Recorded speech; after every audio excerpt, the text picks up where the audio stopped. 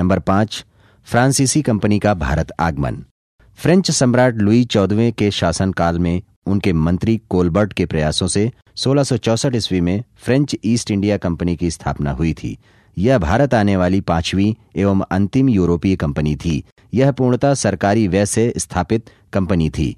प्रथम फ्रांसीसी दल फ्रैंको कैरो नाम के फ्रांसीसी नागरिक के नेतृत्व में भारत आया। फ्रैंको कैरो के प्रयासों से सोलह ईस्वी में प्रथम फ्रांसीसी व्यापारिक कोठी सूरत, गुजरात में स्थापित हुई थी। फ्रैंको कैरो के साथ मरकारा नामक एक व्यक्ति भी भारत आया। सोलह ईस्वी में मरकारा ने गोलकुंडा के सुल्तान से अनुमति प्राप्त कर मसूलीपट्टम में द्वितीय फ्रांसीसी व्यापारिक फैक्ट्री स्थापित की। सोलह ईस्वी में कंपनी के निदेशक फ्रैंको मार्टिन तथा बेलांग द लेस्पिने ने वालीकोंडपुरम के सूबेदार शेर खां लोदी से छोटा सा गाँव पदुचेरी प्राप्त किया। फ्रांसीसियों ने यहाँ फ्रेंच बस्ती स्थापित की, जो कि आधुनिक पांडिचेरी नगर के रूप में विकसित हुआ। सोलह ईस्वी में फ्रैंको मार्टिन पांडिचेरी स्थित फ्रेंच कोठी का प्रमुख बना। सोलह ईस्वी में ही बंगाल के नवाब शाइस्ता खां की अनुमति से चंद्रनगर में फ्रांसीसी कोठी की स्थापना हुई। सत्रह सौ तिरानवे ईस्वी में डचों ने फ्रांसीसियों को पराजित कर पांडिचेरी पर अधिकार कर लिया। किंतु सोलह ईस्वी में डचों और फ्रांसीसियों के मध्य रिजविक की संधि हुई, जिसके तहत पांडिचेरी फ्रांसीसियों को वापस मिल गया।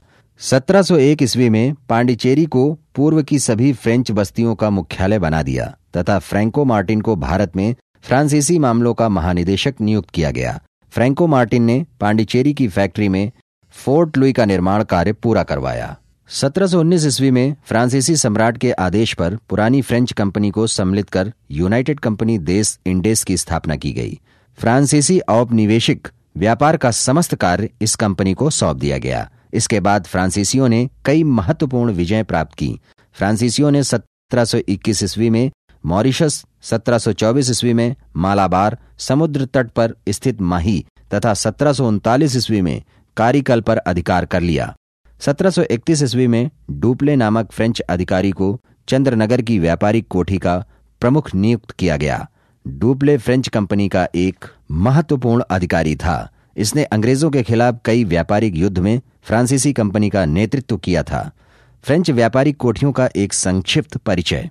फ्रांसीसियों के भारत आगमन के संदर्भ में महत्वपूर्ण तथ्यों की जानकारी प्राप्त करने के बाद भारत में फ्रांसीसियों द्वारा स्थापित प्रमुख कोठियों का संक्षिप्त परिचय प्राप्त कर लेने से इस अध्याय का अध्ययन संपूर्ण हो जाएगा। भारत में स्थापित प्रमुख फ्रेंच कोठियाँ निम्नवत हैं। नंबर एक, सूरत। यह गुजरात प्रांत में स्थापित की गई थी। में यह भारत में फ्रांसीसियों की प्रथम व्यापारिक कोठी थी।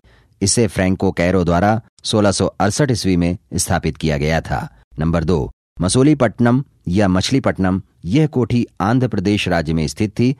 फ्रांसीसियों के साथ भारत आए, मरकारा नामक एक व्यक्ति ने गोलकुंडा के सुल्तान से अधिकार पत्र प्राप्त कर सोलह ईस्वी में इसकी स्थापना की थी। यह भारत में स्थापित दूसरी फ्रेंच कोठी थी। नंबर तीन, सांथोमी। यह कोठी तमिलनाडु राज्य में मद्रास शहर के निकट स्थापित की गई थी। इसे सोलह ईस्वी में फ्रांसीसियों ने गोलकुंडा के सुल्तान और डचो की सम्मिलित सेना को पराजित करके प्राप्त किया था। यह डचो की फ्रांसीसियों के हाथों एक बड़ी पराजय थी। नंबर चार, पांडिचेरी। पांडिचेरी में फ्रेंच कोठी की स्थापना सोलह ईस्वी में फ्रैंको मार्टिन द्वारा की गई थी। फ्रैंको मार्टिन ने वलिकोंडपुरम के सूबेदार शेर खां लोदी से फैक्ट्री के लिए भूमि प्राप्त की थी। आधुनिक पांडिचेरी की नींव भी फ्रांसीसियों द्वारा डाली गई थी। यह फ्रांसीसियों की सबसे महत्वपूर्ण कोठियों में एक थी। नंबर पाँच, चंद्रनगर।